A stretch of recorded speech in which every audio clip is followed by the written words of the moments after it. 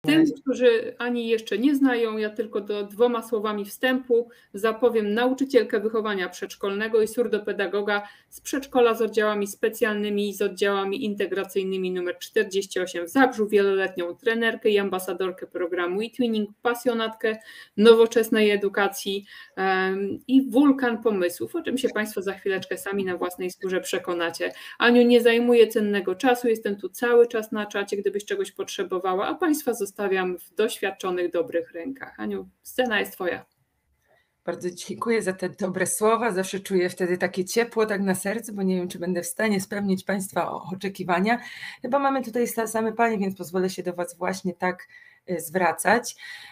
A przed nami jeszcze godzina dzisiejszego spotkania. Mam nadzieję, że efektywnego i twórczego, jeżeli chodzi nie tylko o planowanie, E, współpracy w projektach e-twinning, o których opowiadała moja koleżanka Ania Urbasik, ale też jeśli chodzi o dokładne planowanie i w ogóle taką perspektywę współpracy w projektach programu e-twinning właśnie na etapie wychowania przedszkolnego. To, o czym ja postaram się mówić w kolejnym czasie dzisiejszego spotkania konferencyjnego, to właśnie o tym, że współpraca przedszkoli w e-twinning jest możliwa.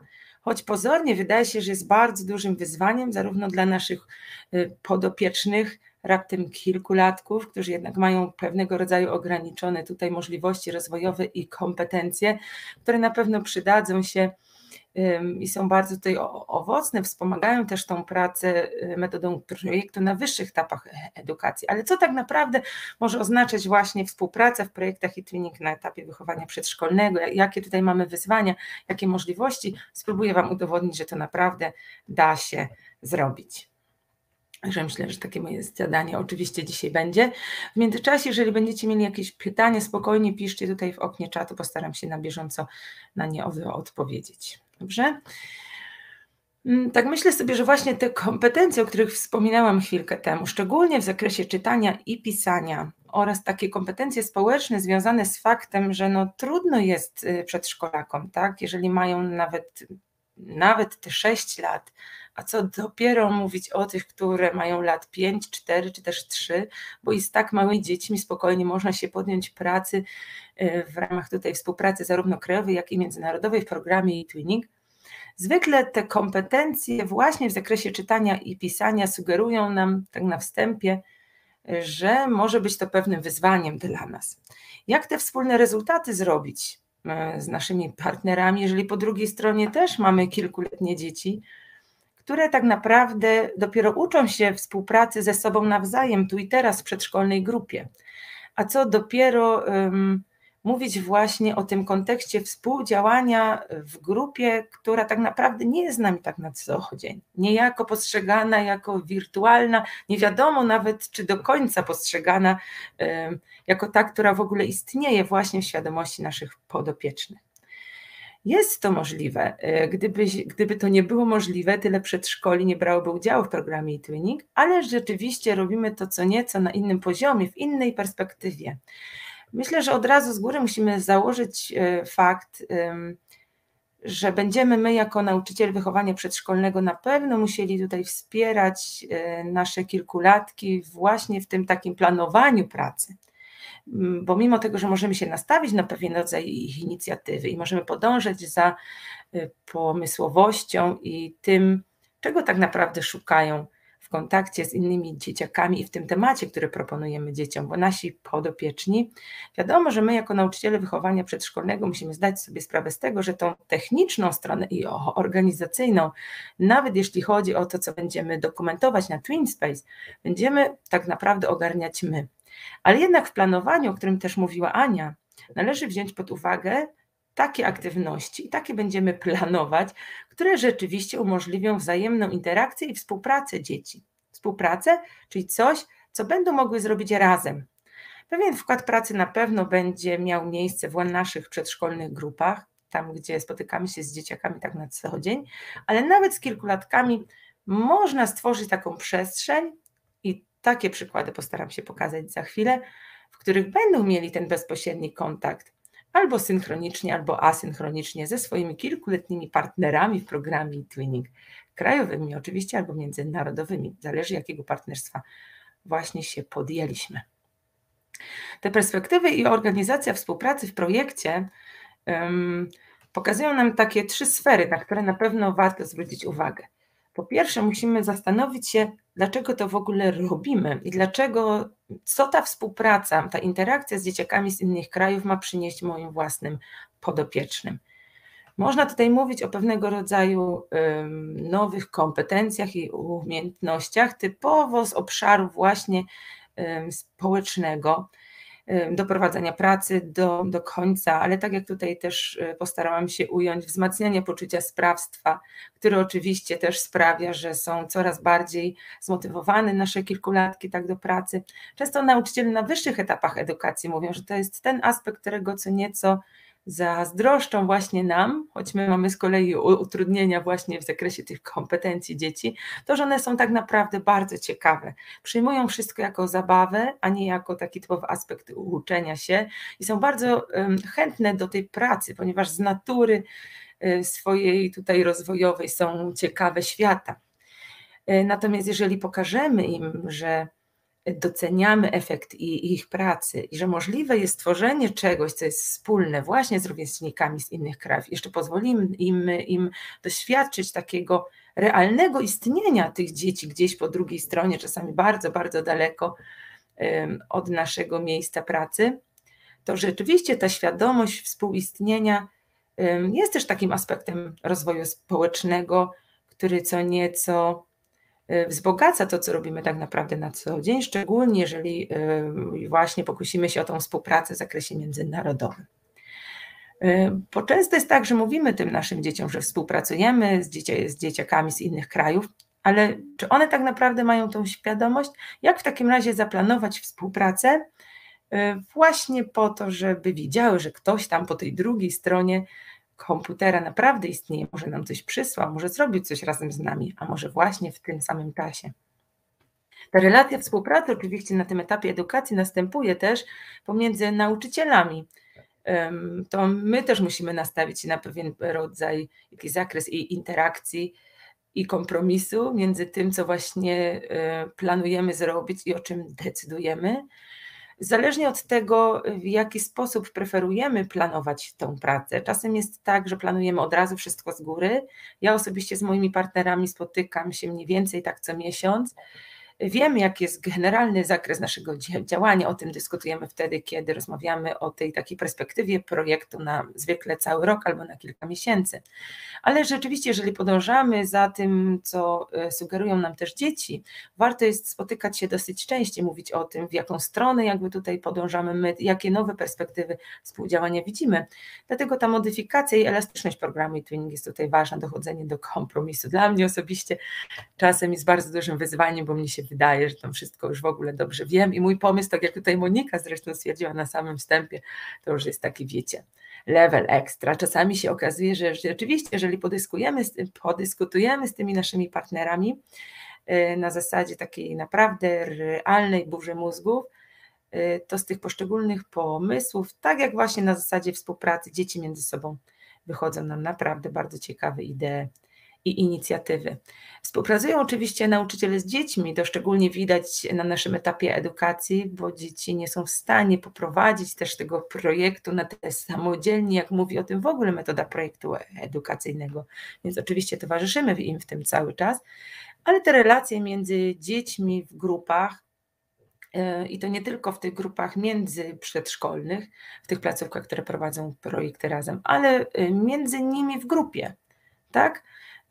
Jak współdziałać y, muszą ze sobą nawzajem, w parach, czasami w zespołach troszkę większych, y, żeby pewien efekt tej współpracy stworzyć, który z kolei będzie efektem później tej współpracy międzyprzedszkolnej. Więc ta relacja, nasza w ogóle myśl o tym, dlaczego to robimy i na jaki rodzaj współpracy się nastawiamy, nie tylko nauczyciel i nauczyciel, ale właśnie w tej, w tej perspektywie podążania za dzieckiem i umożliwiania dzieciom współpracy między sobą.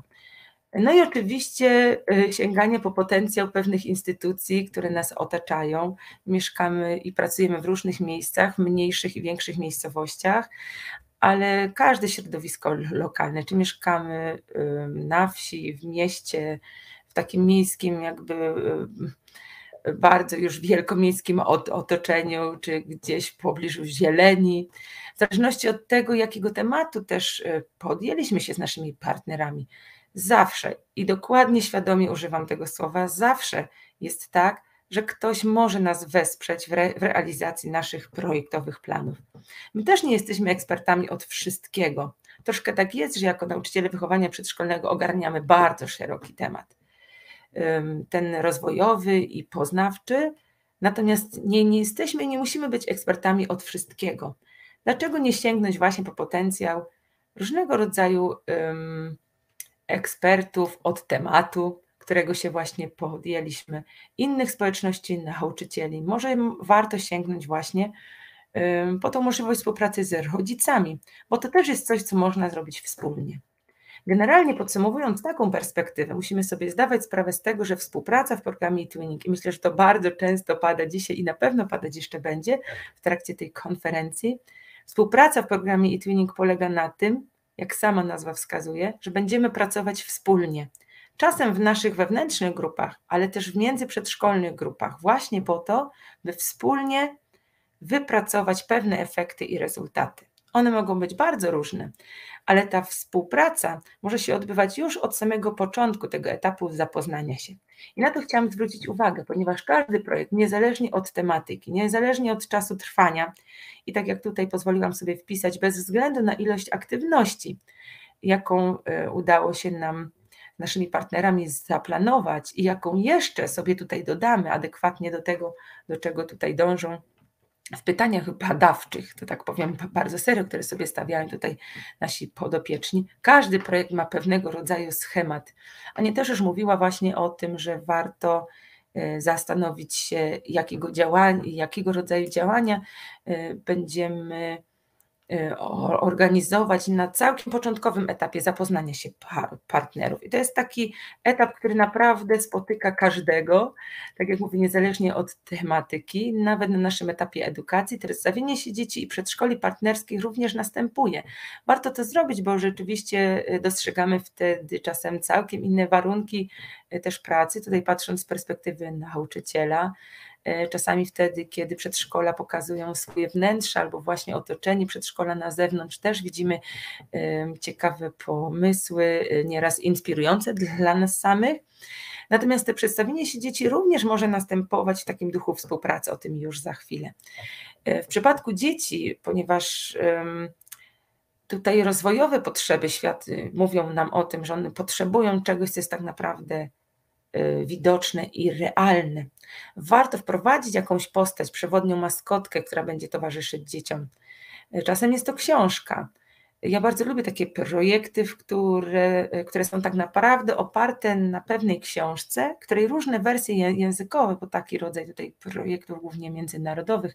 Akurat ja przez te kilka w cudzysłowie lat y, organizowałam, bardzo często właśnie podejmujemy się takiej współpracy na bazie pewnej książki, która też jest taką przewodnią, może nie postacią, ale myślą, y, przewodnim tematem, która też staje się inspiracją do różnego rodzaju dziecięcych przygód. Więc to przedstawienie się dzieci przedszkoli par partnerskich, czasem z tym dodatkowym właśnie aspektem w ogóle wprowadzenia do tematu, choćby poprzez tą książkę, warto myśleć właśnie też o tym, żeby to było coś bardzo takiego nie tyle statycznego, ale e, namacalnego dla naszych dzieciaków.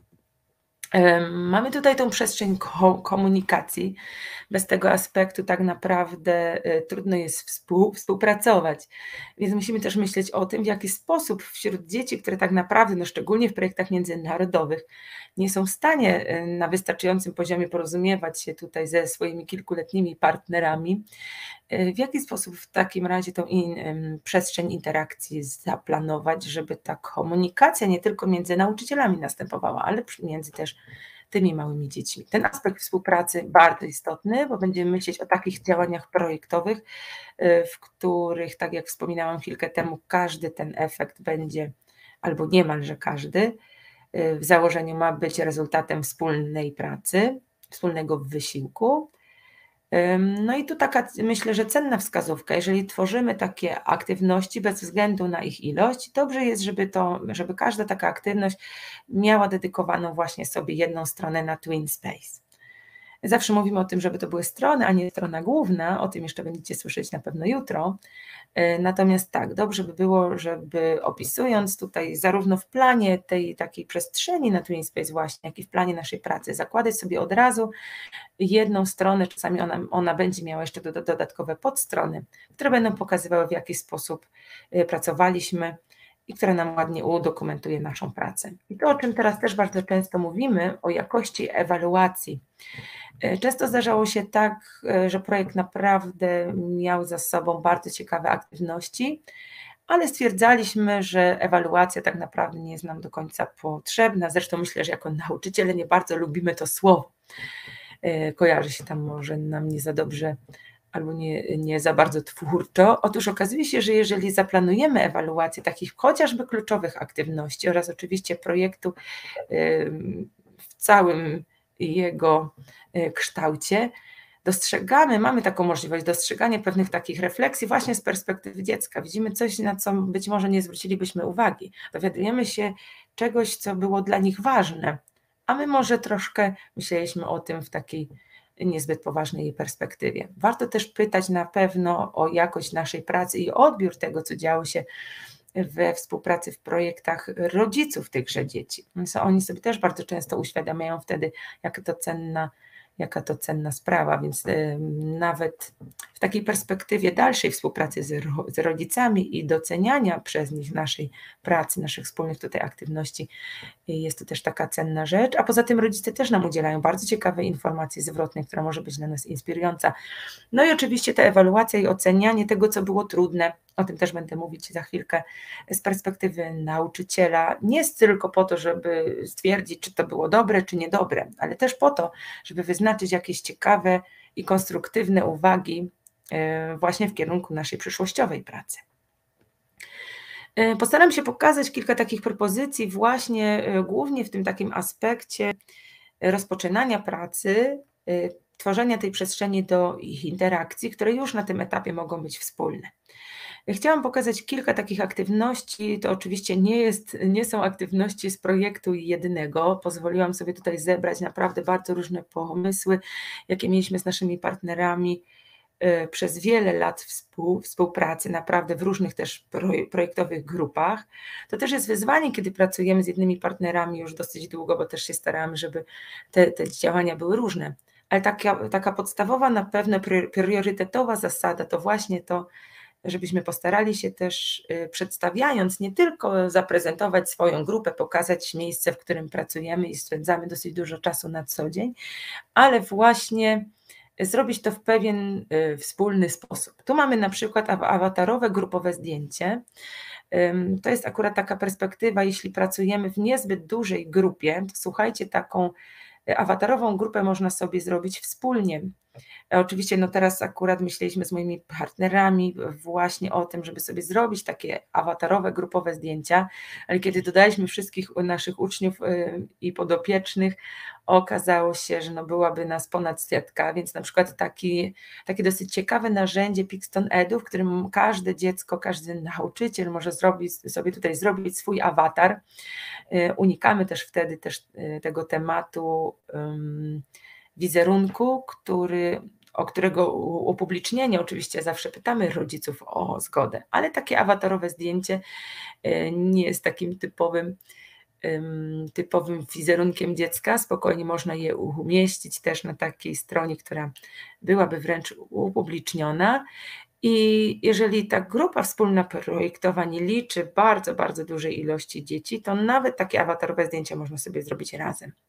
To jest bardzo ciekawa rzecz, bo tak naprawdę nauczyciel może sobie założyć właśnie konto na Pixton Edu, ono w pewnym zakresie jest bezpłatne, a na pewno właśnie w takim, żeby każdy nasz przedszkolak mógł określając, i to też jest bardzo cenne pod, pod tym rozwojowym względem, określając swoje własne cechy, tak?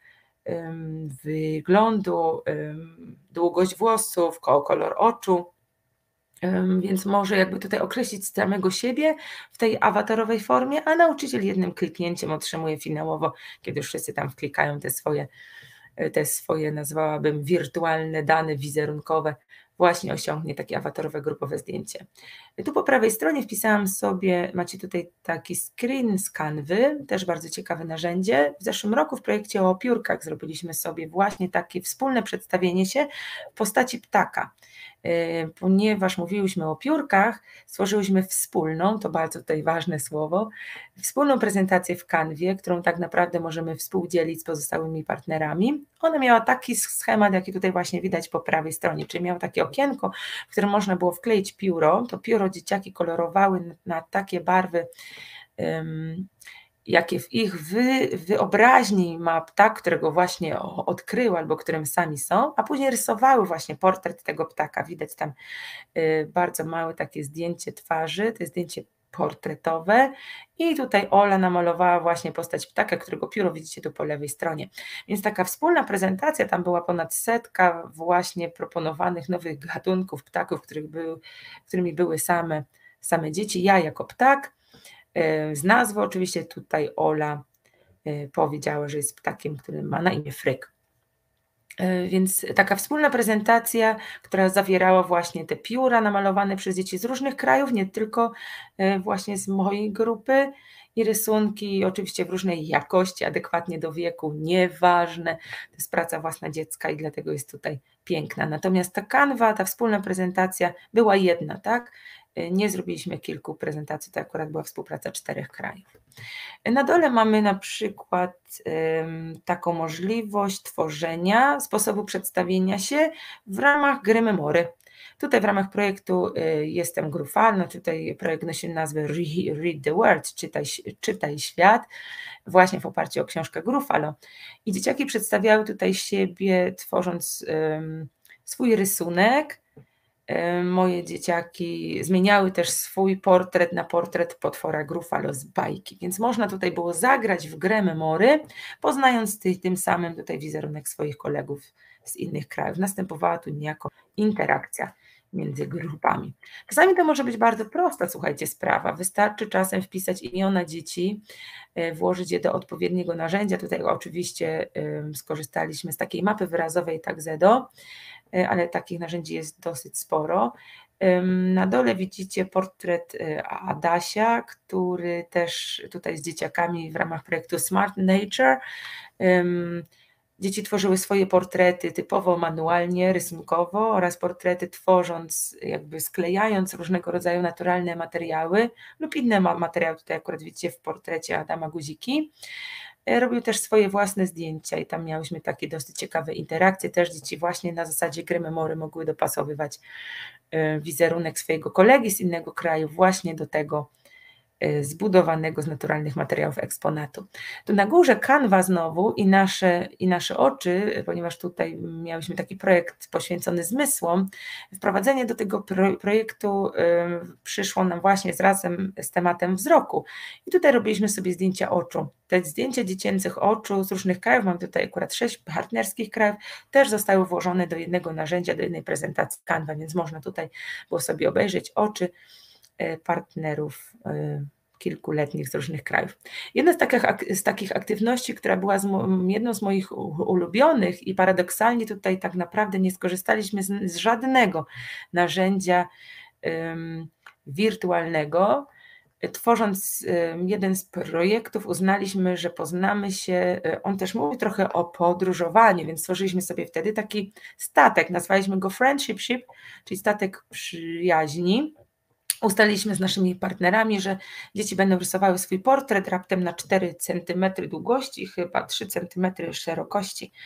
I te malutkie portreciki dzieci wysyłaliśmy do jednego z krajów partnerskich, była to wtedy Islandia. Dzieciaki islandzkie narysowały statek, tak jak tutaj widać, i po kolei później w takim bardzo ładnym animacyjnym w takiej no, krótkiej animacji pokazywały, jak po kolei kolejni pasażerowie wsiadają na ten statek. Tutaj akurat jest jedna, jedno z, z pierwszych screenów, e, natomiast finalnie to była naprawdę taka nam, namacalny plakat statku z wklejonymi pasażerami właśnie z czterech partnerskich krajów, którzy siedzą na jednym statku przyjaźni, friendship. Ship. Więc to też taka perspektywa, na którą warto zwrócić uwagę, że to nie musi być taki sposób przedstawienia się, który jest y, wirtualny. Można też sobie znaleźć właśnie taką aktywność, która będzie wspólna, jest jeden statek, no niestety wisi u tych naszych partnerów. Równie dobrze mógł być włożony do dużej koperty i wysłany do nas. Byłoby też bardzo przyjemnie spotkać y, i mieć przez jakiś czas ten statek przyjaźni u siebie, dlaczego nie? Pomysły na współpracę w tej początkowej części projektu to między innymi właśnie może być zapoznawcze spotkanie online.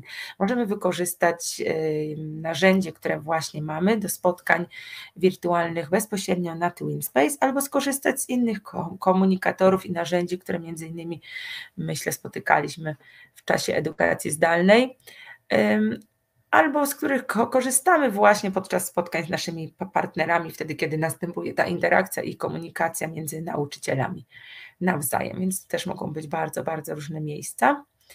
Jeśli chodzi o wirtualną przestrzeń. Takie spotkanie zapoznawcze online, ono też jest ważne tak dla dzieci, bo to już, już na samym wstępie one wiedzą, że rzeczywiście ktoś po tej drugiej stronie jest i za chwileczkę spojrzycie no, z doświadczenia, jeżeli już takie spotkanie, które, którekolwiek tutaj z Pani organizowała, to wiecie, że naprawdę wzbudza wielkie, wielkie emocje wśród dzieciaków.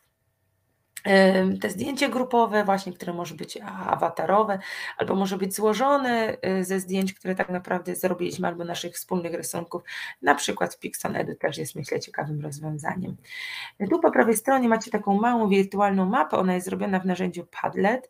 To jest akurat mapa właśnie z naszej grupy przedszkole Twinning, na której nauczyciele zaznaczali to w tym pierwszych miesiącach funkcjonowania miejscowości, z której są ale ten Padlet oczywiście obejmuje kraje całego świata, więc równie dobrze wykorzystując to, to narzędzie i funkcję mapy, albo na Zmaps można nanieść jakby miejsce i lokalizację naszego przedszkola. Równie dobrze można to zrobić na Google Earth, ale też o tym za chwilkę wspomnę. Ta gra memory na przykład ze zdjęciami albo rysunkami portretowymi dzieci myślę, że też jest tutaj bardzo ciekawym rozwiązaniem. Nie jak takiej interakcji też między dziećmi. E, spotkanie online, które może być e, włączone w ten etap rozpoczynania naszej pracy, który też nam uświadamia fakt, że rzeczywiście ktoś istnieje. Tutaj widzicie po lewej stronie dzieci, które tak naprawdę wiedzą, że rozmawiają wirtualnie z kimś, widzą, że tam się ruszają po drugiej stronie jakieś dzieci, ale my do końca też nie wiemy, jaką mają świadomość tego, gdzie to trzeba stanąć, żeby żeby być widocznym dla, dla pozostałych partnerów. E, dobrałam tu to zdjęcie właśnie po to, żeby pokazać Wam, jak silna jest ta chęć kontaktu dzieci między sobą.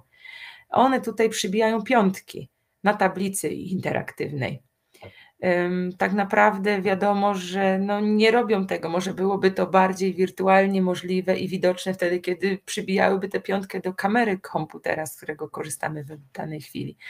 Dla nich i to zdjęcie zrobione właśnie w takiej bardzo spontanicznej chwili było bardzo ważne nawiązanie, zobaczcie, fizycznego kontaktu z dziećmi po drugiej stronie, no, który nie do końca był tutaj możliwy, taki połowiczny nieco to myślę też ta specyfika rozwojowa, ale ona nam tylko właśnie to udowadnia, że, że e, nawet małe dzieci chcą wejść w te wzajemne interakcje, oczywiście na miarę swoich kompetencji. I że tak naprawdę, i to pozwoliłam sobie tutaj ująć, nie istnieją tak naprawdę wielkie ograniczenia mają dzieci w komunikowaniu się między sobą, jedynie nietrafnie dobrane zadania i narzędzia. Nie ma co też myśleć o takich narzędziach, które tak, które tak naprawdę udowodnią tylko to, że my jako nauczyciele potrafimy się nimi posługiwać. To jest ten moment, w którym sobie naprawdę warto zadać pytanie, po co to robimy. Takim narzędziem do komunikacji wspólnej może być właśnie na przykład Padlet, ten, który przed chwilką pokazywałam w tej opcji mapy. Tutaj mamy właśnie Padlet w takiej opcji klocków, a widzicie screen z takiej przestrzeni właśnie związanej z naszym projektem dotyczącym piór, w którym dzieci, oczywiście z pomocą dorosłych opisujących to, co dziecko chciałoby tutaj przekazać w tej formie wizualnej, informują o tym, gdzie e, znalazły pióro. I tym faktem znalezienia pióra chciały się podzielić ze swoimi rówieśnikami z innych krajów. E, Padlet umożliwia nam tak naprawdę nagranie dźwięku, nie tylko jakby włożenie um, zdjęcia, czy też dodanie do niego tekstu, więc równie dobrze można by zrobić, słuchajcie, tak, e, że w tej przestrzeni do komunikacji dzieci opublikowałyby jakieś zdjęcie, ale też nagrałyby się, ponieważ Padlet umożliwia nam 5-minutowe nagranie, 10-minutowe nagranie głosowe i 5-minutowe nagranie wirtualnego wideo, chociaż to się też zmienia bardzo często, może to też będzie dłuższy czas za niedługo. Więc to może być też taka naprawdę bardzo już realna i wizualna forma komunikowania się. Wiadomo, że te dzieci po drugiej stronie nie będą miały, jeżeli współpracujemy w tym trybie międzynarodowym, kompetencji rozumienia obcego języka. No ale od tego jest między innymi nauczyciel wtedy, żeby chociażby w tej opcji komentarza napisać, y, czego ta wypowiedź dziecka dotyczy. Jest bardzo takie ciekawe narzędzie VoiceThread, o tym też chciałam tutaj wspomnieć. Często nam właśnie służy albo do tworzenia słowników, ale tak naprawdę to jest narzędzie, w którym możemy komentować wzajemną swoją pracę. Tutaj widzicie po prawej stronie właśnie potwora Grufalo y, z tego projektu Mm, inspirowanego książką o tym samym właśnie tytule. I tutaj e, akurat mamy screen z VoiceThread, z takiego wątku, w którym dzieci nagrywały kawałek książki, tak? Czyli odczytywaliśmy ten sam fragment książki, tylko w różnych językach, e, w tych językach par partnerskich, a współpracowaliśmy tutaj z Francją, z Islandią, z Hiszpanią, ze Słowenią. No i też oczywiście była wersja języku angielskim, e, jako że był to ten język współpracy między nauczycielami, więc też taki aspekt e, nie tylko tworzenia wspólnego rezultatu właśnie w postaci na przykład takiego audiobooka grufalowego, ale jakiegoś zasobu typu słownik, albo tej interakcji i komunikacji między dziećmi, gdzie widzimy jakiś wytwór pracy jednego dziecka, a inne dzieci w sposób albo właśnie głosowy, albo w, e, w sposób wirtualnego nagrywania wideo mogą skomentować to, co widzą w tym wątku na jednym ze slajdów. We współpracy, o tym chciałam tutaj bardzo wyraźnie y, wspomnieć, tak naprawdę ta potrzeba rozwojowa konkretnej rzeczy, namacalnej na tu i teraz, namacalnego efektu y, tej współpracy, tak jak tam było widać na poprzednim slajdzie, y, nasz statek przyjaźni, friendship, równie dobrze taką wspólną wspólną pracą na etapie właśnie współpracy nad zadaniami projektowymi może być jakaś konstrukcja, wspólny rysunek realny, a nie tylko wirtualny. I o tym chciałam wspomnieć właśnie w zakresie współpracy na samym wstępie, które ym, dzieci będą tworzyły, tak? Czyli tworzą go na przykład w swojej grupie, dzielimy go, tak jak tutaj właśnie też miało to miejsce w, w przypadku projektu Ogru Falo, w którymś momencie stwierdziliśmy z naszymi partnerami, że warto by było mieć taką realną postać Grufalo u siebie w grupie.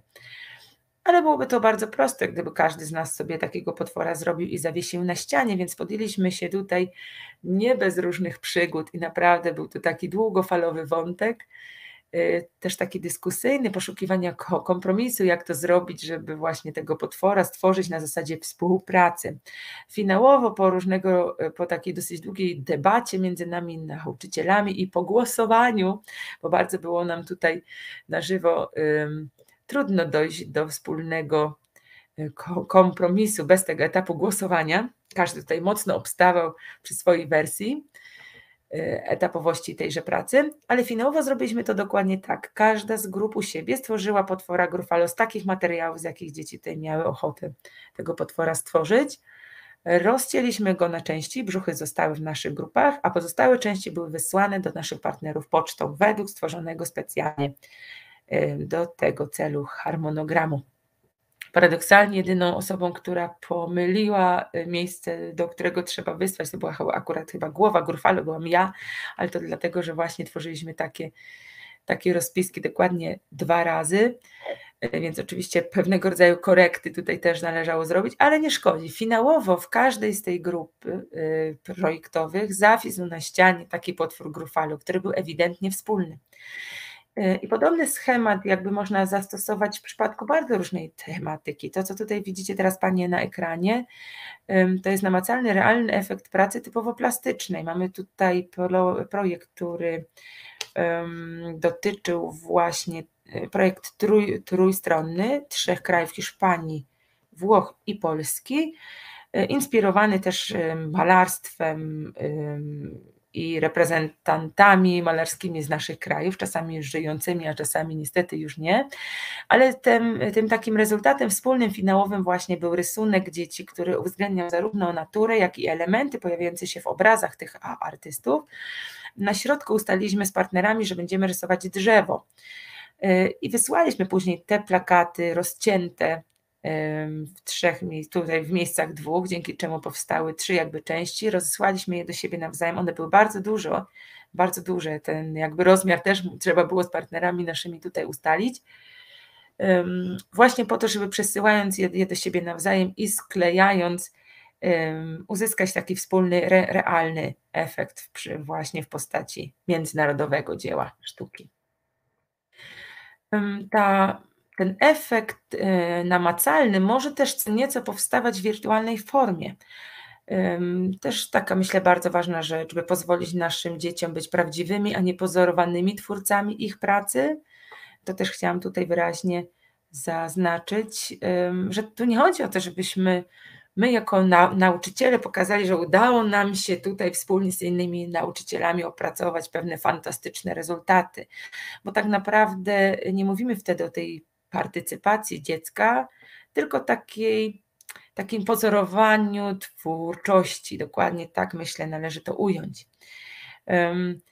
Tak naprawdę największe bogactwo i też taki cel w tej, tej współpracy, który niesie nas właśnie w stronę rozwoju samego dziecka i, roz, i różnego rodzaju kompetencji dziecka kieruje nas w stronę podążania za e, tym, jakie właśnie to dziecko ma pomysł w danej chwili.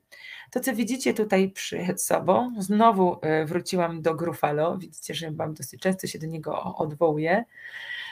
Mamy tutaj do czynienia z matematyczną grą ściganką. Po lewej stronie mamy taką wirtualną formę, nie wiem, ona chyba też była zrobiona w kanwie, taką wspólną planszę pozbawioną, jak widać, jakichkolwiek e, dodatkowych, nie wiem, liter, nazw. Mamy start, który tutaj myślę można jasno odczytać z planszy e, i mamy też metę, na mecie spotyka się Gruffalo. Mamy planszę, na której, kiedy staniemy oczywiście na polach ze śladami, e, mamy do wy wykonania pewnego rodzaju ruchy na planszy ale zasady tej gry nie były ustalone przez nas absolutnie.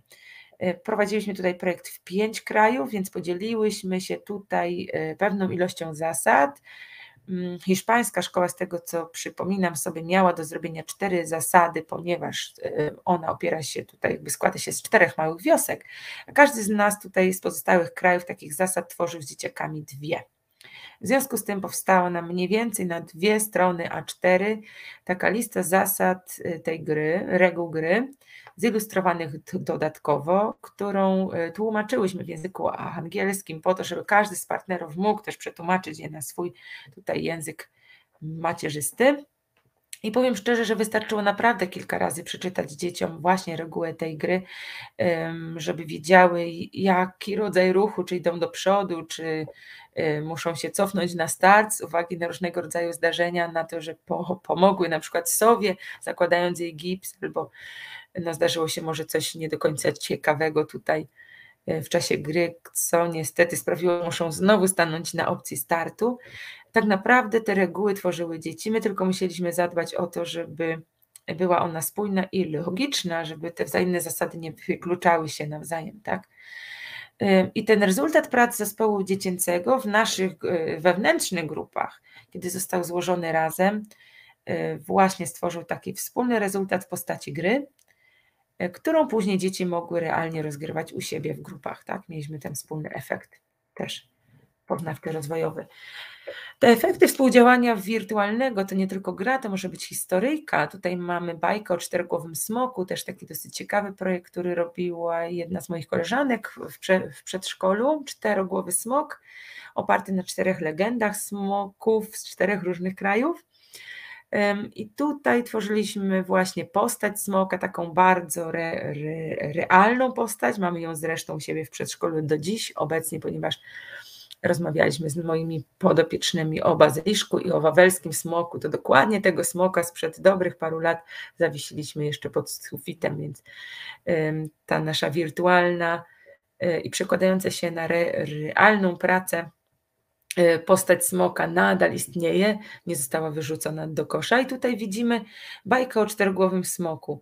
E, stworzoną zupełnie e, samodzielnie przez, przez dzieci metodą swobodnego tekstu, ale też przekładaną na graficzną formę, e, ponieważ tutaj w projekcie korzystaliśmy z, też z takiej metody klucza do uczenia się z modułu literackiego.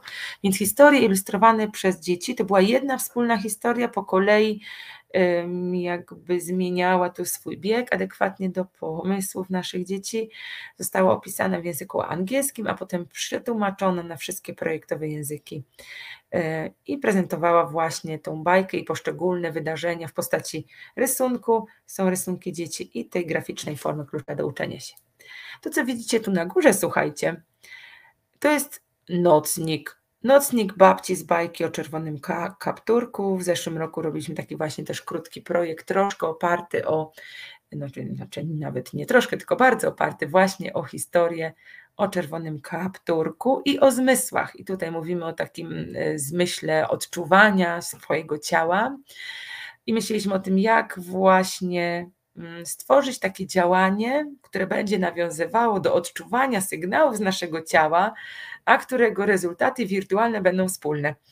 I stwierdziliśmy, że stworzymy sobie w narzędziu Jamboard e, taki wirtualny nocnik, który później, to nie, nie był tylko jeden, bo dzieci tutaj do rysowania chętnych było bardzo dużo, ale to jest jeden z nich. Była taka kolekcja nocników babci z bajki o czerwonym kapturku, które były później synchronicznie czy asynchronicznie właśnie ozdabiane, czyli przestrzeń Jamboard, na którym dzieci ozdabiały te nocniki, była jedna, wspólna.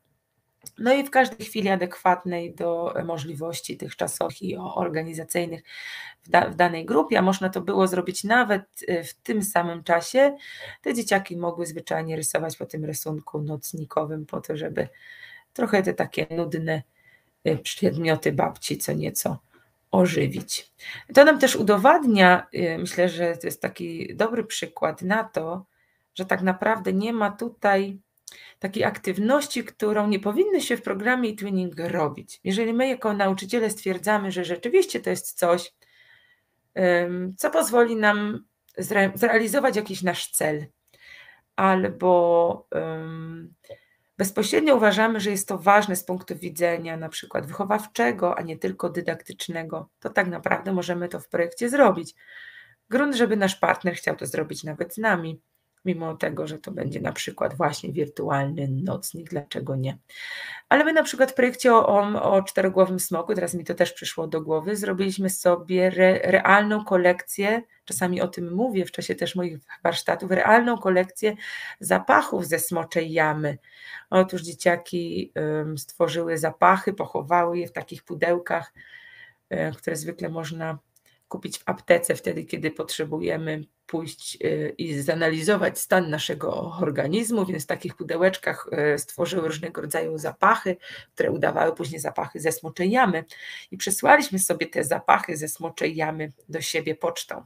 Nie wiem, czy wy macie y, kolekcję zapachów z różnych smoczych jam, ale my mamy do dzisiaj. Także to też może być absolutnie taka rzecz. Tu nie ma nie ma takiego efektu współdziałania i takiego działania, które jest niepożądane, które będzie uznane za niemądre. Bo jeśli my uznamy chociażby od tej sensorycznej kwestii, jakiejkolwiek twórczej, jakiejkolwiek wychowawczej, że warto to zrobić, to możemy to zrobić i już. Na samym dole tutaj widzicie screen z piosenki My Feather Friends. To też jest taka rzecz, którą można i to jest zupełnie osiągalne na tym etapie wychowania przedszkolnego właśnie. Wspólnie zaśpiewana piosenka.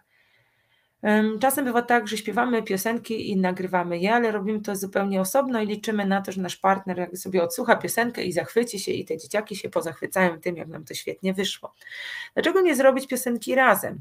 To czasami nie musi być piosenka, to może być wiersz albo y, właśnie po kolei na przykład inscenizowane opowiadanie. Ale w przypadku tejże aktywności y, z partnerami ustaliliśmy, jaka to będzie piosenka, bezpośrednio nawiązująca właśnie do sytuacji związanej z piórami, mówiąca o tym właśnie skąd się tutaj wzięło to pióro, na skrzydle, skrzydło na ptaku, ptak w jajku, jajko w gnieździe, gniazdo na liściu, liść na gałęzi, gałąź w konarze, konar w drzewie, a drzewa w lesie, a las na ziemi. Podzieliliśmy tą piosenkę właśnie na frazy, stwarzając też taką osobną właśnie stronę na Twin Space, w której można było, którą można było edytować i w te poszczególne frazy się wpisać, e, po to, żeby zaznaczyć e, w każdej z tych grup i żeby pozostali partnerzy wiedzieli, e, jak jaką frazę chcemy z naszymi podopiecznymi zilustrować. O to też pytaliśmy dzieci, kto pierwszy, ten lepszy mógł sobie tutaj tą frazę dobrać. Zilustrowywaliśmy ją, to znaczy dzieci rysowały rysunek do, tej, do tego aspektu, na przykład piórka na skrzydle. No i śpiewaliśmy, ustaliliśmy z partnerami, że rozpoczynamy, gramy na gitarze, rozpoczynamy od dźwięku A, no i śpiewamy. Czasami to nie jest do końca czysty dźwięk, nieważne, grunt, że powstała wspólna piosenka złożona przez nas wszystkich razem, to też spokojnie można właśnie uznać jako um, wspólny rezultat pracy. Wiola pisze, że robiła wspólną piosenkę, a dokładnie kolendy Cicha Noc. Ja się przyznam, że raz z moją partnerką właśnie śpiewaliśmy Cichą Noc yy, i od tej pory bardzo nie lubię tej kolendy, yy, bo jakoś tak sobie dobraliśmy ją w takiej bardzo wolnej wersji. I to nam tak bardzo wolno wyszło, że może to nie jest moja ulubiony, taki mój ulubiony rezultat projektowy. Ale to jest tylko kwestia doboru na pewno tempa. Czy to jest kolenda? Bardzo tutaj e, ciekawy pomysł. Dziękuję Pani Wiolu. E, to tak naprawdę może być cokolwiek, o jakiej, jakakolwiek piosenka nawiązująca do tej naszej wspólnej tematyki. E, tutaj mamy do czynienia, słuchajcie, właśnie w projekcie o piórach stworzyliśmy w Google Earth taki projekt, ponieważ mieliśmy tam taką aktywność związaną, no jeżeli pióra, Dedal i Ikar, znaczy jeżeli pióra to dążenie do, do możliwości wznoszenia się w powietrze. Jeżeli mówimy o tym, prowadziło nas to do e, mitu o Dedalu i Ikarze, oczywiście w jakiś taki przystępny sposób podany dzieciom. Dzieciaki nie chciały, żeby ten mit się tak źle skończył, jak on się tak naprawdę skończy, więc stwierdziły, że on się mógł skończyć całkiem inaczej. Tutaj głosowaliśmy nad tym, jak to tak naprawdę mogło się skończyć, jak się ten dedal mógł uratować, co by było, gdyby jednak Ikar posłuchał ojca. Więc tutaj wielkie takie e, dylematy nad tym, co się mogło zdarzyć, głosowanie osobne i wspólne, ale tutaj mamy taki wspólny rezultat w postaci mapy na Google Earth mapy przyszłej podróży Dedala i Ikara, jeśli przyjąć, że nie stało się nic złego i Ikar nie wpadł do Morza Ikaryjskiego właśnie, ma możliwość fruwania, latania nie tylko do swoich e, Aten, ale do naszych krajów. To zrobiliśmy sobie taką wirtualną mapę, na której dzieci ilustrowały. Tutaj mamy na przykład e, most, na którym gramy w misie patysie, jako ważna, ważna tak dla dzieci czynność i ważne miejsce które rekomendują Dedalowi i Ikarowi jako miejsce, na którym, w którym warto się zatrzymać w swojej latającej podróży między naszymi partnerskimi krajami. A tutaj mamy na przykład słuchajcie, propozycję z Islandii, jedno z dzieci, tu nie ma oczywiście rezultatów tabu, mamy propozycję i rysunek dziecka, tutaj mamy kościół w Inardwiku, E, I dziecko stwierdziło, że kiedy na przykład Ikar umrze, to dobrze by było, żeby wtedy, kiedy będzie już stary, to może być tam pochowany. Czemu nie? E, więc taka naprawdę podróż bardzo wszechstronna. Myślę, że nauczyciele by tak, na taką opcję nie wpadli absolutnie. Podążając tak za dzieckiem i za ich pomysłami, właśnie można dojść do takiego różnego rodzaju um, wydarzeń w naszej pracy. Ale tak, wspólna przestrzeń na Google Earth, na której dzieci właśnie tymi punktorami, oczywiście my wspomagałyśmy je tutaj od tej technicznej strony, natomiast one rysowały to, co było dla nich ważne, później opisywałyśmy tak, jak nam to właśnie opisywały dzieci. Te rezultaty mogą się też składać z wytworów zespołowych, tu też w projekcie o, o tych piórach na Twin, na Twin Space, korzystając z tego komponentu Twinboard i narzędzia Fany Foto przerabialiśmy różnego rodzaju dzieła sztuki, które znaleźliśmy właśnie na Google, na Google e, Art Dzieci najpierw szperały w internecie właśnie w zasobach e, sztuki, żeby znaleźć takie obrazy, w których znajduje się pióro albo ptak. Potem próbowały odgrywać te sceny, jeszcze e, wstawiały je do takiego narzędzia, które się właśnie nazywa Fany Foto, zmieniając je e, właśnie w taki styl malarstwa różnego rodzaju. Więc mamy tutaj wytwory zespołowe albo indywidualne, które później wklejaliśmy właśnie na Twinboard, dzięki czemu powstała nam taka pierzasta kolekcja sztuki. Więc mamy tutaj dzieci z różnych krajów, które próbują właśnie odegrać sceny znalezione wcześniej w internecie, nawiązujące do piór i ptaków. Ale chciałam tutaj pokazać, słuchajcie, że jest też możliwe, to wcale nie jest jakaś e, nierealna opcja, stworzenie takiego rezultatu zespołowej międzyprzedszkolnej pracy. I to zarówno e, no tutaj międzyprzedszkolnej w kraju, ale też poza nim taki mój bardzo dawny projekt e, z dziećmi, które miały wtedy lat 3 i bardzo lubię pokazywać tu ten przykład. Tworzyliśmy, słuchajcie, projekty domów. I ten dom powstawał um, wspólnie w takim trzyosobowym zespole dziecka z Polski, z Hiszpanii i z, i z Islandii. My wykorzystywaliśmy wtedy bardzo prosty program Paint. Nie myśleliśmy jeszcze wtedy o, o Jamboardzie, nie było jeszcze takiej opcji ale to też było całkiem sporo lat temu. I tutaj akurat nie rysowaliśmy w jednej wirtualnej przestrzeni, tylko um, bodajże to odbywało się w drugą stronę. Zaczynał rysować dziecko z Islandii. E, nauczyciel podpisywał tą pracę właśnie imieniem dziecka, wysyłaliśmy je do e, partnerów z innego kraju.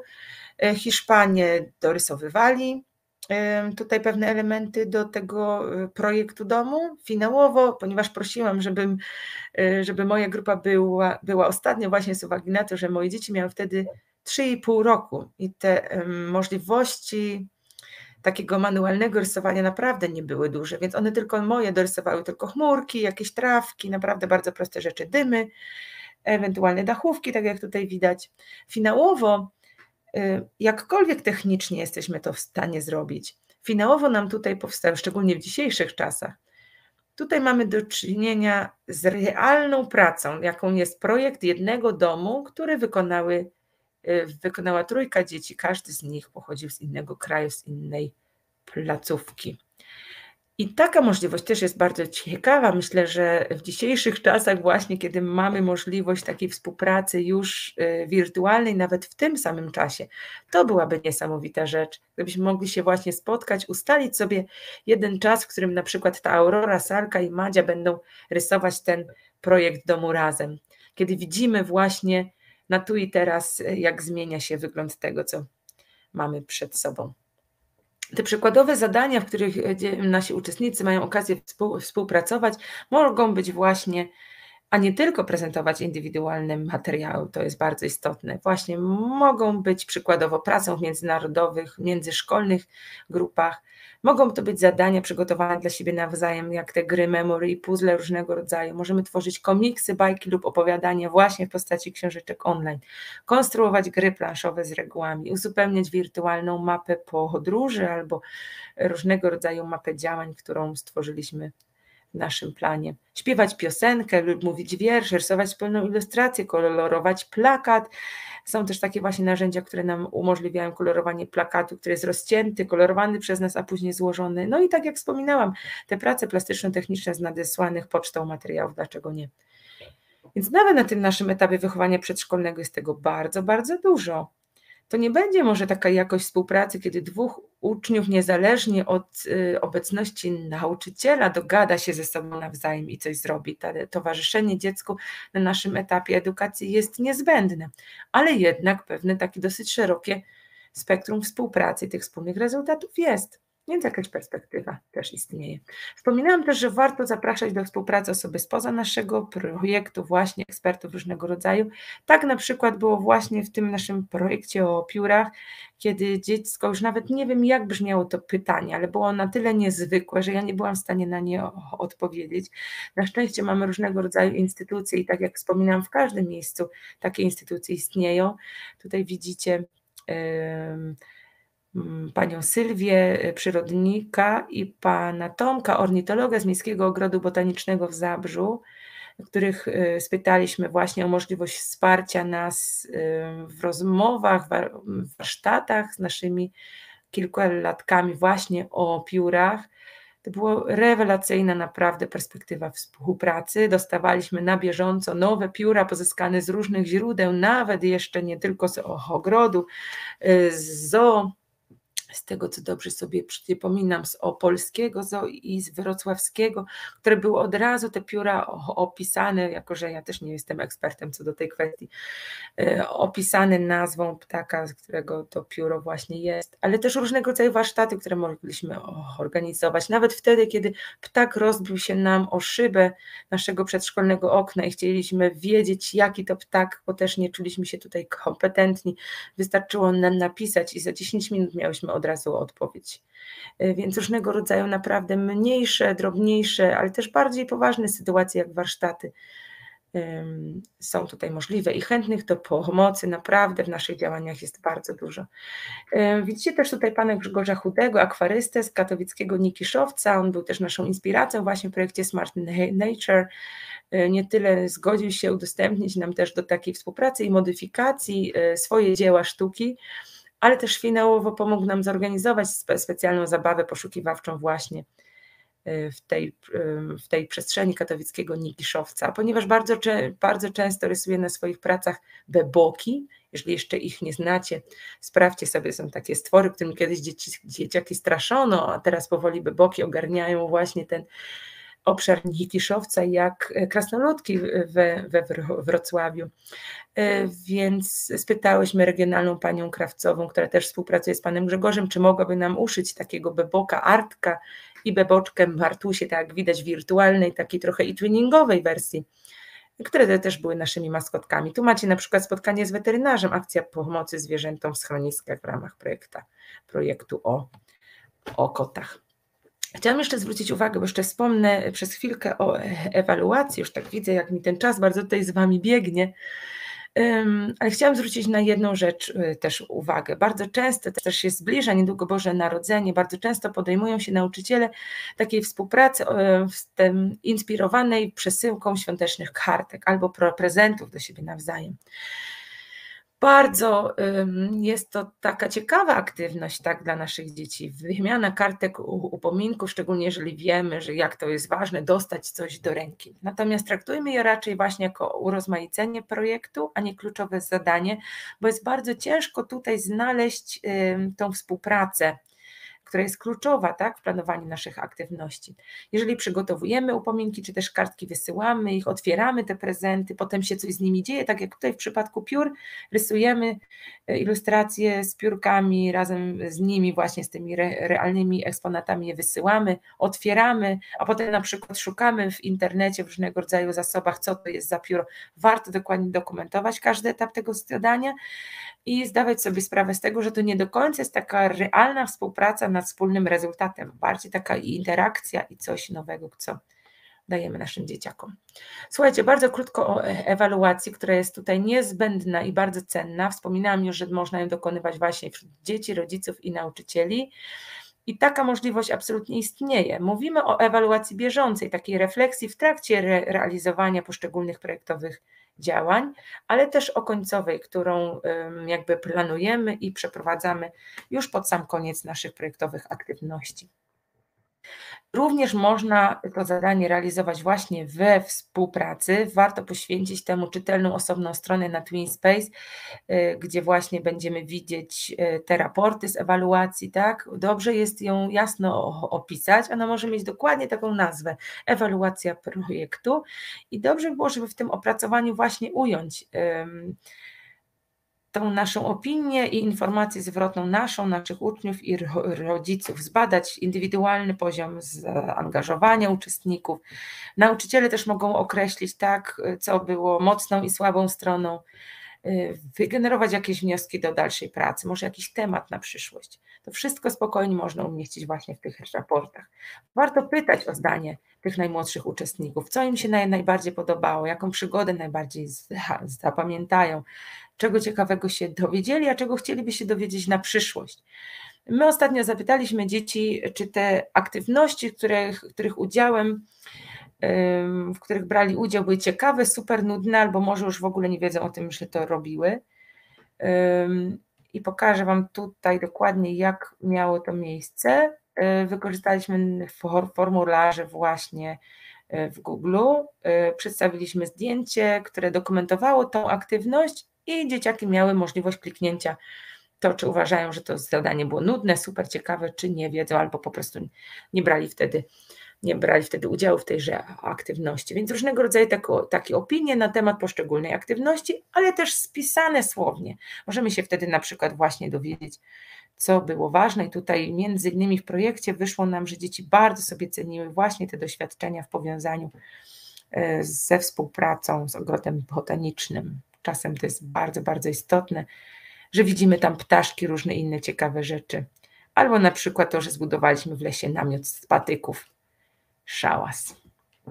Pytamy się oczywiście y, nauczycieli o tym, co było twórcze, mocne i słabe strony, jakie narzędzie było może trudne, łatwe, czego chcielibyśmy uniknąć na przyszłość.